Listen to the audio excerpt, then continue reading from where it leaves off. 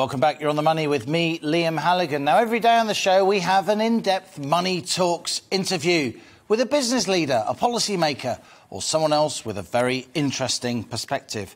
Today, I'm delighted to welcome Luke Murfitt. Luke's the CEO of Integrity Cleaning, someone who, having received a serious medical diagnosis, left his high flying job and formed his own company. What courage he showed. Luke, fabulous to meet you. I'm delighted you're in the studio with us. So tell us about that diagnosis, how you responded, and the company you set up. Thank you. It's great to be here. Uh, so, well, where do we start? I mean, you know, five years ago, um, I was diagnosed with Parkinson's disease. Uh, I didn't let that define me, but I was sent to the job centre three and a half years ago. I was in the job centre in Bromley, and uh, I said, I don't want uh, benefits. I want to start a company. And I said, I want to employ the people downstairs. And I looked at the buildings in Canary Wharf, and I said, I can I want to clean those buildings. They said, You sure? And I said, Yes. And within nine months, I was cleaning seven towers for Galliard Homes. Wow, that's absolutely amazing. And tell us about Integrity Cleaning now. How many people do you employ? Um, where do you think the company can go? What's your vision? So, what I did do was I started with helping mothers back to work. That was the premier thing. I really wanted to help as many people as I could. Um, and so, since then, we've probably helped around 170 mothers back into work. Okay. Yeah. Uh, last year alone, we did 30,000 hours of construction cleaning. Um, we've cleaned places like the Shard and like Amazon distribution centres and Tesco's and all sorts, brand new ones. Um, and it's, it's really great to help as many people as we can. What do you like most about business? It's obviously been psychologically hugely important for us. Yeah. You're a young man in the prime of your life. You've been hit, with all respect, with a pretty tough diagnosis. Mm. Surely your business helps you in so many ways, as well as paying the bills and employing people. That's right. I mean, at the end of the day, you know, normally you're put into a box when you're diagnosed with a disability. I actually, uh, what slow, should slow me down and hold me back, I used to actually speed me up and propel me forwards. In the morning, it takes me 15 minutes to get from my bed to my bedroom door. It's, um, I'm, I'm, frozen, I'm in a lot of pain, my fingers are cold, and my teeth are stuck to my lips, and so on. It takes me those uh, 15 minutes to actually unlock and get moving. Seven steps to my bedroom door, I feel like I've won a national award every day. And then basically on the back of that, with those challenges, you can walk into the shard, ask for the business, and you get it. It's really, it's really driven your self-belief, hasn't it?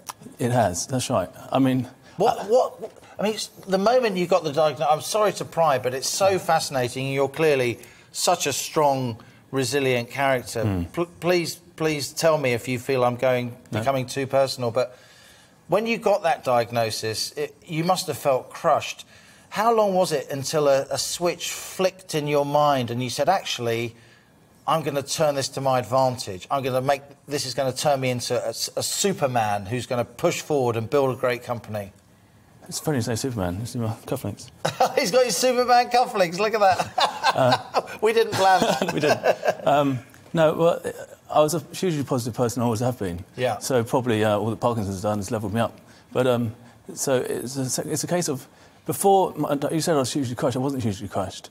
Um, I was actually told it was likely that 99% chance that I didn't have Parkinson's. Then I stood in that thing with uh, all these professors and things and said, "You do." Uh, I'm a Christian, and I also believe in this. You know, in, in I have a faith that keeps me going every day as well. Keeps me motivated, gives me a purpose for living. But uh, I said, "Look, I'm happy to take your uh, medication. I'm happy to do all that, but I also believe that also I can bring something back to other people." They said, "You're going to start taking life easy." Sure enough. Some chance. yeah, six weeks later, my company, which a big bank in London, let me go when I was diagnosed with Parkinson's.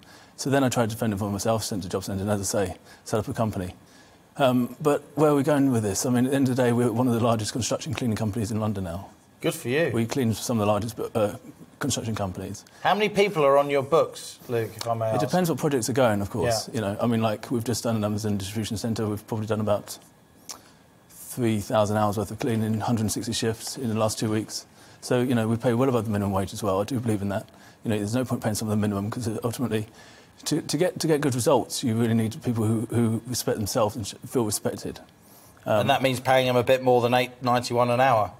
Yeah, absolutely. Yeah, it should be considerably more. Someone can't survive on that. They, have got troubles all the time. They end up having to work through jobs all weekends, and they can't perform for you.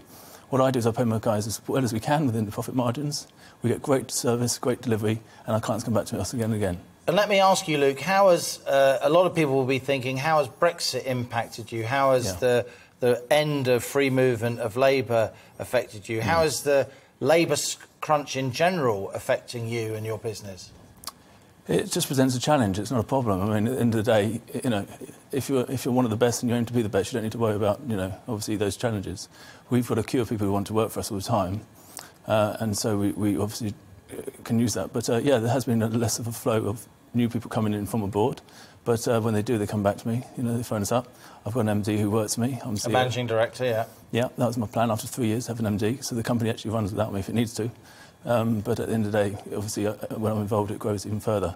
You know, the first year, uh, uh let me see, second year, year before the pandemic, we grew 670%. Wow. During the pandemic, we, we doubled our turnover, and wow. this year we're set to double again. So your message is, if you pay people reasonably well, yep. then you there are people there to do the job. Well, of course. And the thing is, look, in the service industry, people have a choice when they clean. They can either clean like this, clean like this. And what put some elbow grease into it. What motivates them to do that regularly and you know in, at a good pace? It's when they feel respected and feel like they're doing something for you and helping you. You know, want to give something back. They know I've got challenges myself. They've got no excuses to be late to work.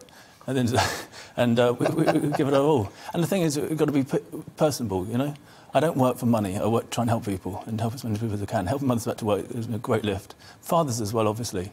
Um, and uh, you know, just people who need who need a break in life, and I try and do the best I can and give what I can. I, I, I use the pain that I have and the challenges to hopefully relieve other people from theirs. Well, Luke Murfitt, I must say, I've been in this business a long time. I've interviewed a lot of business leaders, but I don't think I'll ever forget this interview. You're an incredible man. That's very kind. Thank, Thank you, you very much. Luke Murfitt there, who says business is boring. You're watching On the Money with me, Liam Halligan. I'll be bringing more of your daily dose of economic, business, and consumer news soon. Lots more to come in the next hour. Do stay with us. GB News. I'm Liam Halligan, and you're on the money. Some see things as they are and say why. I dream things that never were and say why not.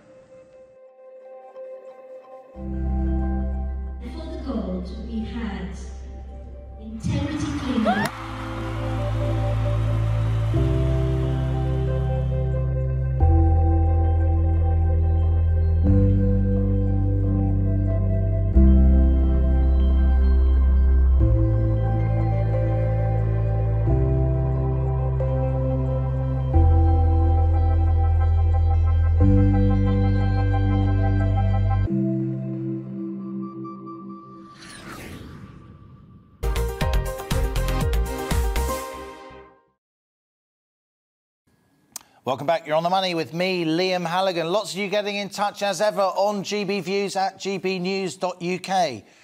Now, I found that interview with Luke Murfitt, uh, who has Parkinson's disease. He founded Integrity Cleaners. I found it really, really moving, and it's clear that many, many of you did too. Just one email that we've had of the many that we've had on that incredible interview. Luke Murfitt is amazing, says Christopher. An amazing example to us all and obviously an incredibly genuine human being who tackles all his challenges head on, including being on TV.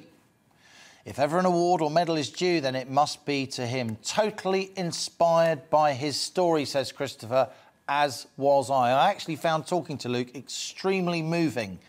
And that's why I said, of all the business interviews I've done in my career, that will be one I never, ever forget.